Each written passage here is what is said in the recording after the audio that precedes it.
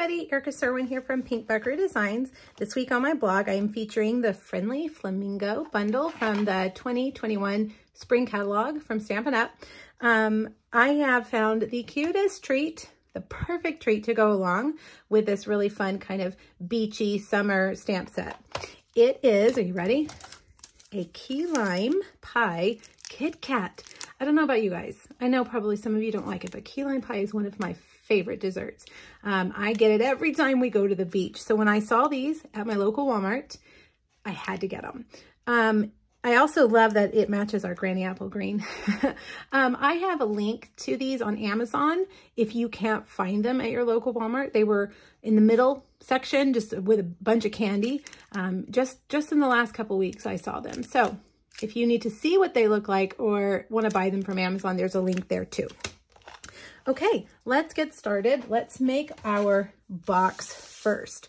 You're gonna need a piece of Granny Apple Green. Let me look at my notes.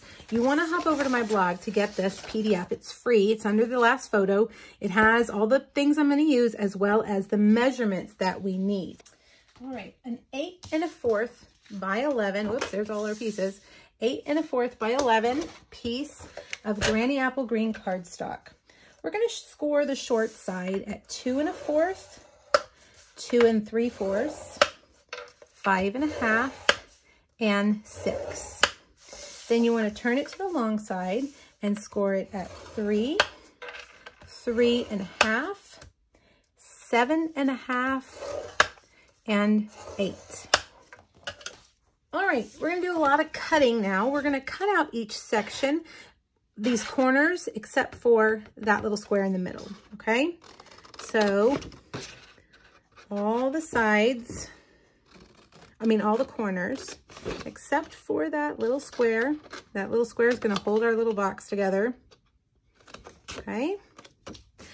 And, well, we'll do that afterwards. Let's, let's get all the cutting done and then I'll show you where to snip your flaps.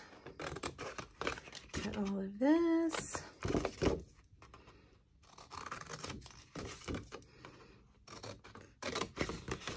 Want to stay right in that line, your score line ditch. There we go.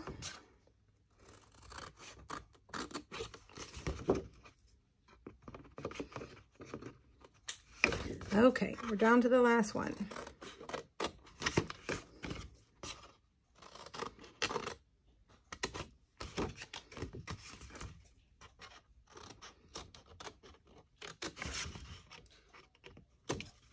All right, so there is what your piece looks like. You cut a lot of it off, leaving those little squares. Now we're gonna do some snipping on these little squares. On either end, go up and snip them like that, okay? See that?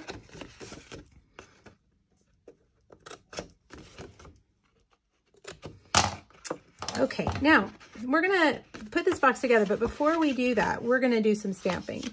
Um, let's burnish it because I wanna show you how it's gonna go together so you can figure out exactly where you're gonna do your stamping. All right, so get that bone folder, burnish all those lines. That's gonna help your box go together really nicely.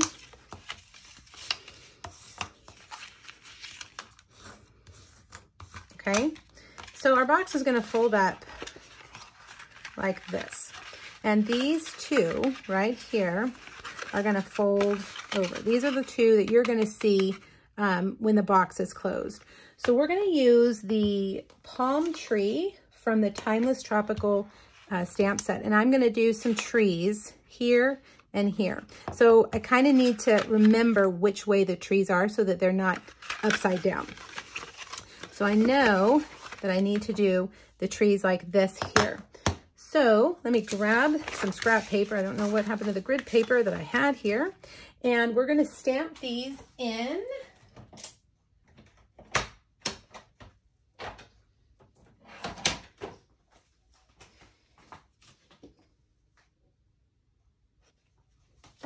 We're going to stamp these palm trees in Granny Apple Green.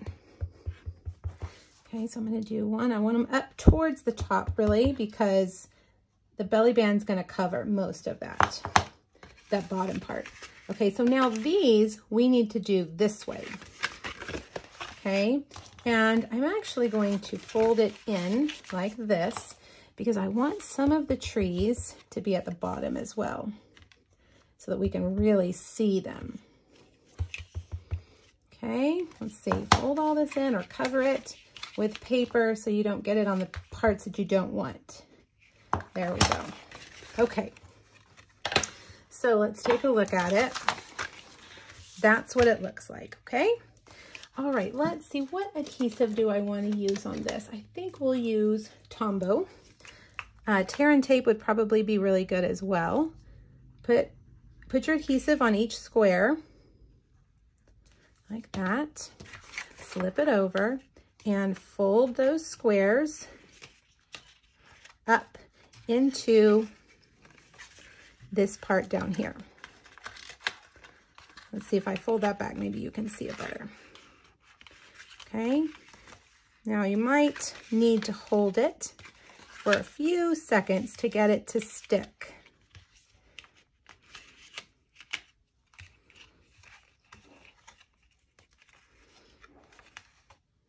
All right, let's see. I'm going to hold it for a few seconds. There we go. Okay, let's fold these up and get that in right there and right there and make sure they're straight and squeeze and hold. There we go. All right, there is our little box and our Kit Kat will fit perfectly inside. Okay, I have decided that I'm going to put a piece in here like this so we can write our message. You could really use any of the stamps in the stamp set, but since we have that palm tree out, I think I'll just use that. You could use the, the flamingo and just, you know, do the very top of it, or you could use the flowers. I'm just going to put a little foliage, a little tree on either corner like that. All right.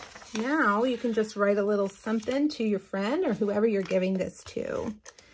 Little birthday treat. These would be great to just keep on hand at work whenever it's somebody's birthday. You can say, I have something for you.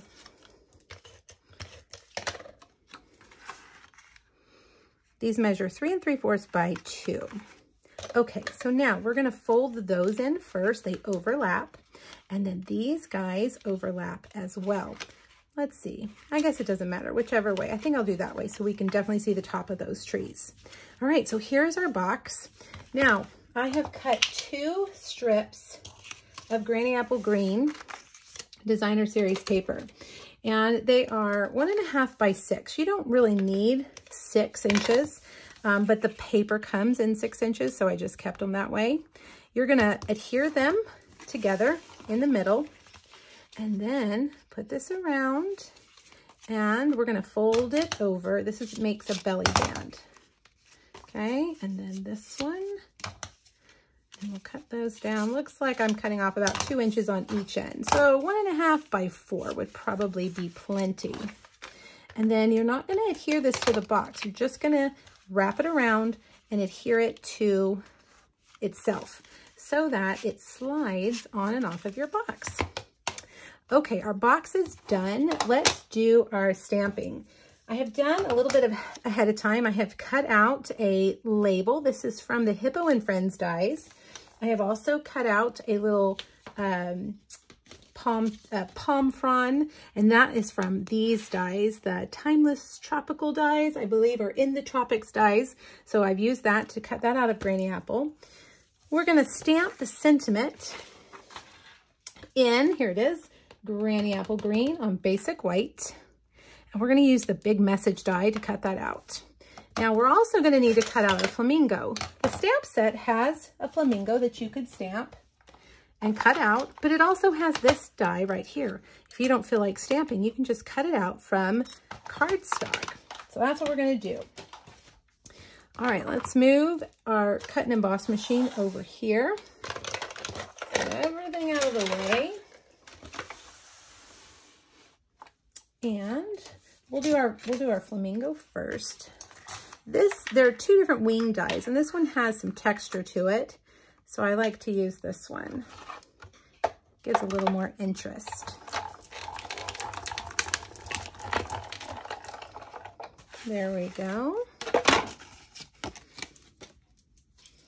Okay, get those off. And the sentiment, here it is. We're gonna cut it with this die. This is a fantastic die. It is the called the message die, and it has all these little different labels that you can use. Um, I think we're gonna use this one right here. And just stamp your sentiment on a small piece and line it up. There is, there are gonna be two stamp sets actually in the new catalog that's coming out on May the 4th that, that you can stamp and it has all the sentiments already stamped and then you can line this die up with it and it'll cut them all out at the same time. It's really, really cool. Well, I keep knocking it out of the way. Let's see. Come on. There we go. All right, run it through Woo. Don't worry. That's normal. All right, there we go. All right, we're ready to put things together. Let's bring over all of our pieces. We'll start with our flamingo. And I think I will just put her down flat. Okay.